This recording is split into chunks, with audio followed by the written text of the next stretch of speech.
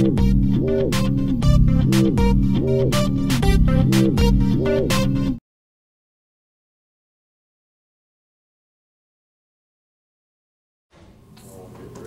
right, if I can have everyone's attention, we'll formally uh, open up the meeting Tuesday, August 30th. Uh, Board of Supervisors meeting. We have an agenda in the minutes of the past meeting of the 23rd to approve. At this time, I'll make a motion to approve the agenda from this morning and uh, the minutes from August twenty-third. Okay. Second. There's a motion and second to approve the agenda in the minutes of August 23rd. All in favor? Aye. Aye. Aye. Okay, old business. I have no old business. Okay. We're Moving along to new business, it takes us to our county engineers line items. Um, The contractors are working on the two bridge projects, progressing, no problems. Um, The Iowa Northern Railway contacted me a week or so ago about installing yield signs. Um, MUTCD, which is their uh, manual for signing roadways, um, put into effect that all passing grades, uh, crossings will have signage, either a stop sign or a yield sign, and there's no stop signs currently on this rail lines uh, crossings, so they're gonna go ahead and put up yield signs. So if you see those going up on the Iowa Northern line, that's what they're doing. That's to be compliant with that. It's, it's their policy or DOT No, or it's industrial? or like- Manual, MUTCD is a manual um, for uniform traffic control devices. um, And it has requirements that we have to follow. And recently, I believe in two thousand nine or two thousand ten, they passed a requirement that all passive, passive being at grade intersections with no arms or lights, Mhm. um, have to be signed with either a yield sign or a stop sign. And they're gonna sign those passive crossings with a yield sign. So if you see those yield signs going up, that's what they're doing. Um, That has a compliance date of uh, 2013, so they're, they're ahead of, ahead of the dates, but that's fine so. Um, We did do some brush cutting in Ventura Heights. Um, Oh, was that exciting? It was very exciting, Uh, got some compliments, um, only one unhappy camper, and I think he kind of complained to the foreman, and then life went on, so. Okay.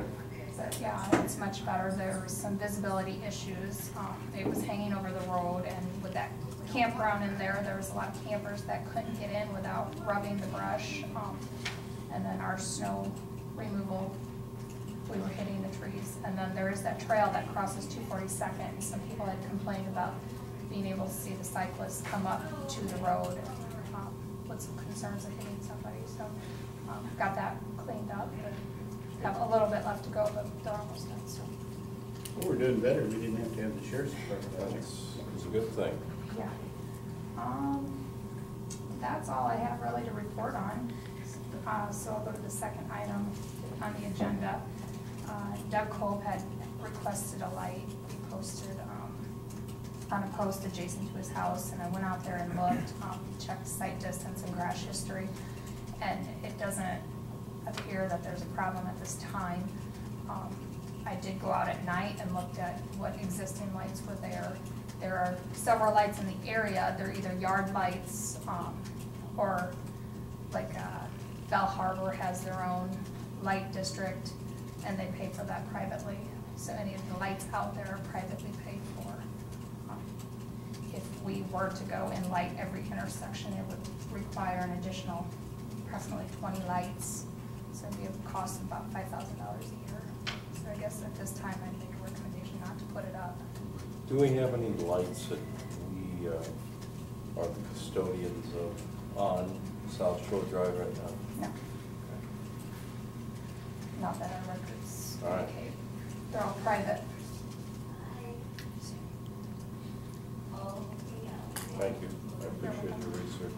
No problem. And uh, we've read your memo uh, uh, about that. just just with what you said. So. Do we need to do anything on that? No. Okay. Okay. That's all I have. Okay. Any questions Mary? No. Then that's on the agenda, I don't have any. Okay. Well, thank you for the research on that and putting out there on the light deal. All right, thank you. Okay. Have a good day. Yeah, you too, Mary. What, uh, county auditors line items, Bob? And then, Who's uh, there? At this time, I'll make a motion to approve the claims as presented and sign where appropriate. okay. Second. All right, we have a motion and a second to uh, authorize the chair's signature and accept the claims presented this morning. All in favor? Aye. Aye. Aye. Payroll, any? I have here, uh, three payroll changes, all for Pam, Pamela Raymond in the sheriff's department. Pamela is replacing Tara Catmeyer, who resigned. And these, uh, the additional two payroll changes are per union contract. Pamela is a new employee, so this payroll needs to be approved by resolution. Mr. Chairman, at this time, I move to approve resolution two thousand eleven, number eighty-two. We have a motion on the I'll floor. second resolution two thousand eleven, number eighty-two. Okay. It's motion and second in favor of approving payroll resolution number eighty-two in reference to uh, Pamela Raymond's employment. All in favor? Aye. Aye. Aye. Do we have any other line items under payroll? No. Warrant reports or anything? Okay. And uh, drainage, uh, there's uh, these CREP programs, we run into them every once in a while, and then our jurisdiction comes in where we maintain a county main, and we have some, do we have some background or more information on that? The wetland development drainage agreement um, does affect the CREP program that's being done in Drainage District sixty, which is a established drainage district, Board of Supervisors trustees, and this is a standard agreement that is entered into between the prop, property owner and the trustees of the district. The, there was a delay in getting the signer um, from the property owner, um, just some legal work that had to be completed. It is ready for consideration by the Board of Supervisors, and my understanding, Bob, is that construction will be beginning within the Shortly. next week or two. Okay. I knew they wanted to get started on fairly quick. Uh, This is, as you know, we're, they're doing a, a CREP program just north of town here, a couple, two, three miles. And, they finally got all their legal work and their paperwork in order, and, and what this amounts to is we've got to sign for, uh, for our end of the whole thing, so at this time, I'll make a motion that we, uh, uh, sign the drainage agreements Okay. I'll for the wetlands reserve program. Okay. Um, We have a motion and a second. Um, Does that jump out at you, Jay? Yeah, it's right on the, it's right on the uh, township line between uh, Falls and, Yep. and uh, Lime Creek. Okay. All right, with that, it's been motion and second for, to authorize the chairman's signature on the wetland development drainage agreement with uh, R and L Real Realty concerning the CREP program in Drainage District sixty. All in favor? Aye. Aye. Aye. Okay, and Sandy, we're going to refer to you, uh, we have, uh, a motion to create a new fund for the West Fork Community Schools, is that to do with elections or collection of property tax force tax? I have one more Oh, drainage item. okay, pardon me. We'll, um, we're gonna be still on drainage for a moment, okay? Gary Sutcliffe has reported um, slow uh, drainage of water, a problem in Drainage District seventy-one. And I think it was a rather urgent matter, Yep. um, but it's before the boards for Yeah. consideration. Larry? Slow or no flow because it's so dry? I'd say no. But I'm sure it's, Beaver, Yeah, it's a good time to take care of those when it's dry to get in. I Yep. think that was the, The, uh, yeah. Gary Sutcliffe called me the other day and wanted to know if we'd take a look at it. and- And I said, go out and fill the paperwork, and I said, we'll get to it as quick as possible. And he was lucky enough that Larry Thurman stopped in that day, so he went out and took a look at it and, and is doing the appropriate stuff. So at this time, I'll make a motion that we have Larry Thurman investigate and, Okay. and do what uh, needs to be done. All right. I'll second that. Okay, we have a motion and second to investigate and um, complete said repairs. Gary Sut, what's, um, what's section twenty-eight? And, uh, Drainage District seventy-one, all in favor? Aye. Aye. Okay, thank you.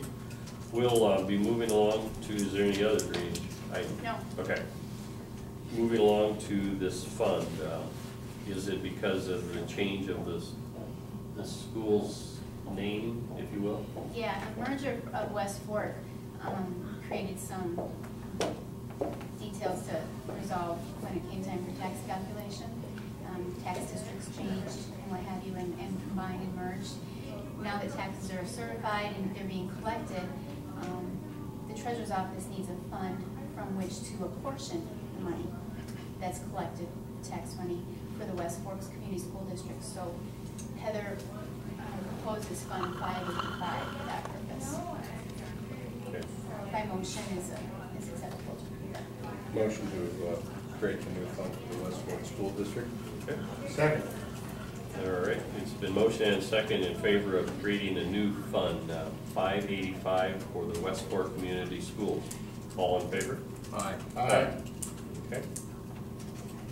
Moving along, uh, letter C, under the county treasurer's line items, we have quite a, a list of things. Uh, First of all, will be a motion to abate the second half of the uh, 2012 taxes on, because of the VIN number, that would uh, amount to a trailer home vehicle identification number, in the amount of uh, $59. Motion to abate. Okay? Second. Been motioned and second in favor of abating the taxes in the amount of uh, fifty-nine dollars for the said VN, VNI number. All in favor?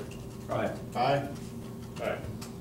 Okay, moving along, number two, this is to abate taxes with a drainage assessment for the U.S. Fish and Wildlife as follows. Um, Now, that's the federal grant, that's not the state DNR, right? The U.S. Fish? Right. Okay. Has to do with, um, I think, mo- I think most of these happen to do- have to do with the Union Hills project. okay, And what it is, is uh, the federal government, especially the Fish and Wildlife, will not pay uh, drainage assessments, uh, which makes it a a burden on the rest of the repairs, but that's. You know, I guess you don't fight the federal government. Okay. And these are, these are parcels that need to be uh, abated so we can finish up and and clean up what's going on. Sure, Okay. most of us run in the uh, Drainage District thirty-one, the Mhm. massive Okay. district Yep. down there. all right. So at this time, I'll make a motion to abate the taxes, uh, uh, tax assessment on DR thirty-one B for seven hundred ninety-three dollars. Okay, Um, Bob, I think that's the total for all items A through L. Right, that's, that's, Okay. good. that's, All right. so that's what I meant, is Okay. for All right. A through I'll L. second that. all righty. Okay, we have a motion and a second to uh, abate the taxes for the U.S. Fish and Wildlife following uh, A through letter L. And uh, some amounts vary, but the total is uh, seven hundred and ninety-three. Any uh, discussion, other than I can comment, this is an annual, we do this annually, Yeah, it's just not, okay. All right, I'll call for the uh, vote, all in favor? Aye. Aye. Aye. Okay. Number three, uh, motion to abate the taxes and plus the interest and cost on a parcel as follows and uh, delete tax sale. Um, Now, between nineteen eighty-two and, uh, what's five twelve mean? Oh, the, the fifth month of, uh, Yeah. next, uh, the, the second half of the, of the twenty twelve taxes. Sandy tried to explain it to me yesterday, and as I say, tried to. Okay, well, it, it, it seems She like. did you- as good as It she seems could. like you want the floor here. I always do my best. Um, I understand that the treasurer would like to, um, delay action on this. She would like to have you table this. This is a situation that was brought forward, brought to our attention by Jerry Stambaugh. There's a private road that sits in Commercial Park. edition and Commercial Park Second Edition that was not um, mapped correctly, and the value on that road was not placed properly according to the owners. So I had spent some time studying what Jerry had brought to my attention, I had laid out a plan of action, and Jerry had just responded this morning, and I haven't had a chance to review his response. Pat was not prepared to have the board consider abatements on this Okay. matter until after I had been in contact with Jerry Stambaugh. So that's a little bit of a rough background, but the real piece you care to know is that Pat would like me to table it. Okay, that's, So let's table it until we get it all figured out. So I'll make a motion that we table the, uh, item number three until we get a little more information on it. all right. Second. There's a motion and a second to table item num- number three under the uh, county treasurer's line items uh, concerning abatement. All in favor? Aye. Aye. Okay, with that, um, we'll be moving along to uh, letter D, agreements and contracts. I have none at this time. Never mind. Okay. Appointments. All right. Correspondence and communication? I have neither. Can I maybe say something here at this point? That I think is pertinent. Okay. Um, You know, last month, we talked about there- that uh, Mary had attended these meetings on the, for looking into raising revenues for the roads and Roads, bridges. uh-huh. There's a bill in Washington, two versions of a bill called, we refer to it as a highway bill. The Republican version was going to defund what they're spending now. They're Gonna spend, they're gonna allocate less for roads and bridges. The Senate version is, uh, is uh, one that funds more, which is sorely needed. We all know, right? I mean, Mary gave her report that the bridges and roads are falling apart. So uh, I'd urge everybody to contact your congressman to uh, tell them to kill the Republican version of the bill, which is a seven-year deal that's gonna be, once again, spend less on road improvements and bridge improvements, because we need it, it creates jobs if nothing, I mean, you know, we need these roads, you know, if you don't care about the jobs, we got bridges falling down and roads that sorely need a repair, so I urge everybody to contact the congressman and representatives to tell them to kill the Republican bill, pass the Senate version of the bill. I don't know if that's appropriate for this meeting or this forum, but I think it, it, it is important for the county to get some funding on the federal level, because, you know, I don't have to tell you all, Yeah. okay? Well, Thank you. whether it was appropriate or not, we thank you for your comments. Okay? That's rare. Okay. Motion to adjourn. Okay, we have a motion for adjournment, Second. uh, and a second. All in favor for adjournment, say aye. Aye. Aye. Okay, thank you. Do you have any idea what, the- like the number of the bill or anything? I, I, I've never seen a number to Okay. it just yet. Probably need a number for it. Not